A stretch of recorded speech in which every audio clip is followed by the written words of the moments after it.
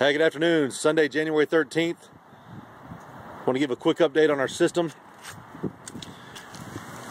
Our white Nile tilapia fingerlings arrived last week. They've been in here since last Tuesday.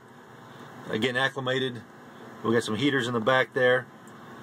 Uh, what you see floating around is some duckweed, a very popular plant. Uh, they're also called water lentils for the fish to eat. Also got some water lettuce. Uh, thanks to our pal Jared Spencer from Vider who brought that over this morning.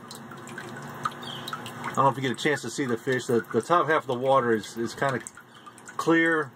But we did some work on the system yesterday and it got kind of kind of murky, but hopefully it'll clear up in a couple of days.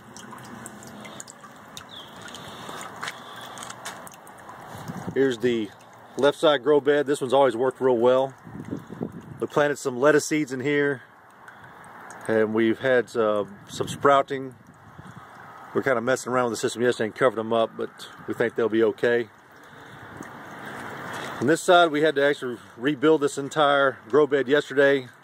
The siphon wasn't working correctly. The the bed was filling up with water, and it would it would it would drain, and then the water would keep flowing. So we had to adjust the, the flow rate. Hopefully, got that taken care of.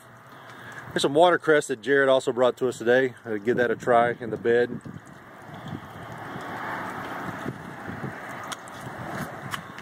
And put a cap on the back side of that to uh, keep the grow bed from overflowing. We lost about 25 gallons of water overnight on uh, Friday, so I want to make sure that doesn't happen again. So we built a, a makeshift holding container. You see we got some, this is full of duckweed, some watercress, and two uh, water lettuces. We don't want to put all that in the in the tank just right now. We didn't want it to overwhelm the system. So we should be getting our greenhouse next Tuesday or Wednesday. We're going to put that up next week. And we're also discussing building some strawberry towers to add to the system. So we just got to see how much room we have in the greenhouse once we do that. So, like I said, that's our system so far. Hopefully we'll have some more more growth to show in the grow bed next week. And maybe this tank will clear up a little bit so we can uh, see the fish that are in there. Thanks for watching. Have a great day.